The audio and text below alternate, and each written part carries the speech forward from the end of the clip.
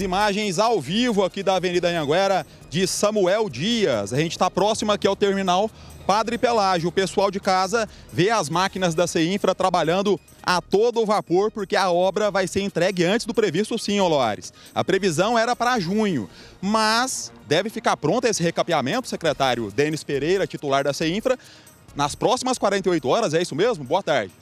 Boa tarde, Loares. É isso mesmo. A verdade é que a determinação do prefeito Rogério Cruz foi que pudéssemos antecipar o cronograma que era para junho, em relação à entrega dessa importante obra é, da questão aqui da, do eixo Anhanguera. Nós sabemos o quanto é importante essa via para o transporte massa e o prefeito pudesse, pediu que fizesse uma força-tarefa. Nós fizemos esse grande trabalho em relação a trabalhar, inclusive, nos finais de semana e nas próximas 48 horas a gente acredita que entregamos esse serviço. É, nós estamos dizendo de praticamente 90 dias de antecipação da obra.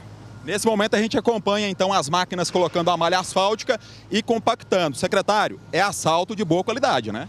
Sem sombra de dúvida, que faz toda a questão da fresagem, a retirada do asfalto que já estava aí deteriorado, faz toda essa fresagem, essa retirada e, claro, vem aí com a capa asfalto CBUQ, asfalto, como nós dizemos aqui popularmente, o asfalto quente, que tem aí a durabilidade, a capacidade de aguentar uma via tão importante como essa, que trabalha sempre com tráfego muito pesado. Claro, nós estamos falando de 5 centímetros de asfalto e, claro, a recuperação de toda essa via é tão importante. Nós estamos falando aí de 12 quilômetros de um lado, 12 quilômetros de outro, de 24 quilômetros de recuperação de via do eixo Anguera.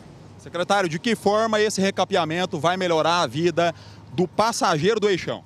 Ah, sem sombra de dúvida, acredito que é a primeira grande recuperação dessa via ao longo dos seus 12 quilômetros. Em relação a toda a recuperação, era feito vários serviços é, de paliativos, de recuperação, mas nesse sentido aqui, acredito que é a primeira da história aqui em relação ao Eixangueira. Claro, nós estamos falando aí que vai melhorar bastante a trafegabilidade, é, diminui a, a quantidade de quebra de ônibus. Nós estamos falando uma grande licitação que o governo de Goiás está preparando para fazer toda a troca desses ônibus, colocando ônibus elétricos. E nós nós da Prefeitura de Goiânia, em parceria com o governo de Goiás, preparando a via para assim que chegar esses ônibus elétricos, a gente não ter maiores problemas. Menos quebra de ônibus e também menos solavanco nas viagens para o passageiro, né, secretário? Sem sombra de dúvida. Essa qualidade da nossa malha viária aqui em relação a a toda a extensão do eixo agora é extremamente importante para dar mais conforto, claro, para os nossos passageiros, que é tão importante esse eixo Anguera. Volto a dizer, asfalto excepcional qualidade, serviço feito com mão de obra da própria Prefeitura de Goiânia, Secretaria de Infraestrutura Urbana.